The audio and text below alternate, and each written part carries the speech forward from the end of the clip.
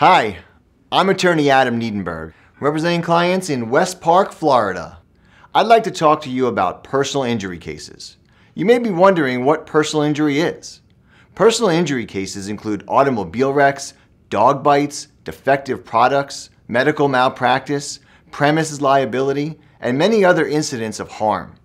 When somebody else's negligence caused you to get hurt, you have rights that should not be ignored.